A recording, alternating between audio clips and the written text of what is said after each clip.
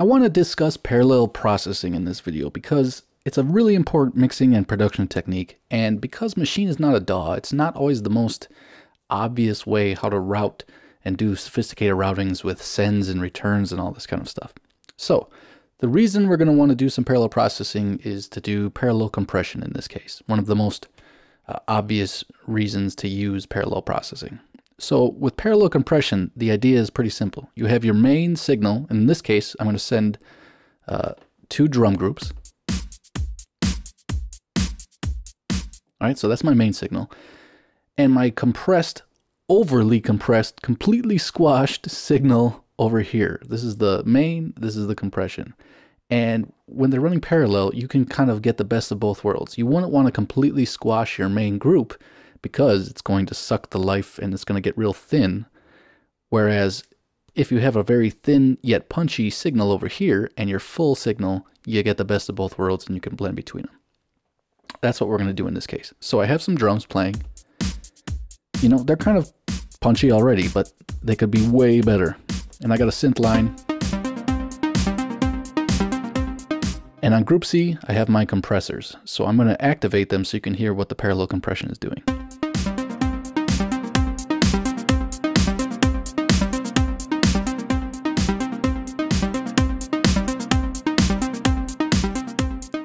I'm aware it's getting a little bit louder, but more importantly, you hear how the kick and the snare are just hitting you in the face.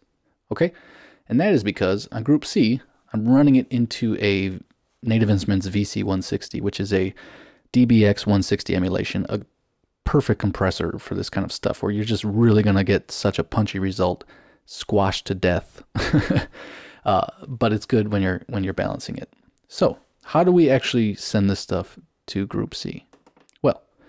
So I have my group, and what we're going to do is come to the group channel. So once we're inside of the group outputs, input, output, etc., come over to the auxiliary tab, and by default, these will be set to none. And what you can do is literally just point the entire drum group to a new group, for instance, group C, where I have my compressor. And I even went as far as to set up three different compressors and again, these are already set, so they're they're basically like completely squashed already. Like, I mean, this thing is running insane. You would not normally do that. So, let's come back to group A. And now, at the group level, the auxiliary is being sent to group C, sound 1. Important to note, the way to make this work is very important that you have to adjust the order. Now, you by default when you open up any group post is going to be set as the default setting. And what post means is that you basically any signal you have that you're sending to your auxiliary is going post fader. So if i turn down the level or adjust the panning on that group it's adjusting what's being sent to that auxiliary.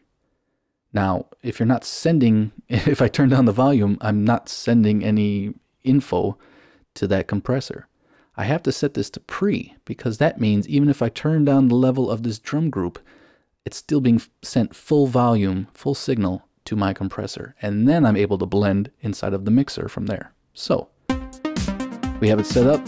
Let's activate our compressor. And let me just demonstrate post actually.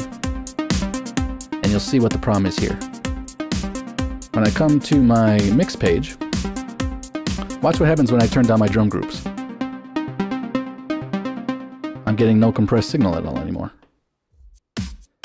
To hear the compressed signal, I actually have to turn these up. Well, that's no good because I really can't tell if the parallel compression is doing anything useful. So let me set these to pre, and you'll see the difference now because we can blend and get a perfect balance. I turn them down, and there's the fully compressed signal. So from here, I can adjust my compressor settings to really get the punch the way I want it, and then start to bring in the original.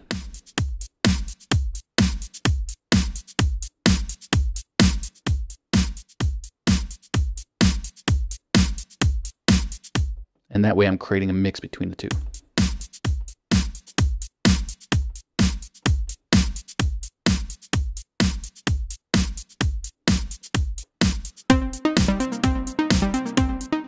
Very simple.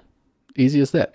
Now, another thing you might like to do is that once you parallel processing is set up, again, use different flavors of compression. For instance, I'm using a, here's a UA uh, 1176, here's a FabFilter Pro C. And so I can actually go in and send these different groups to different compressors now.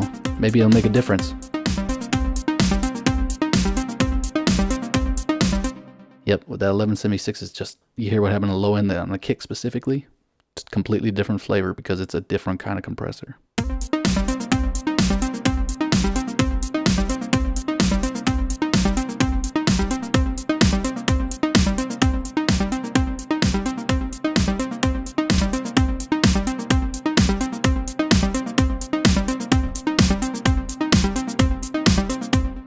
Actually kind of like how that one's set up.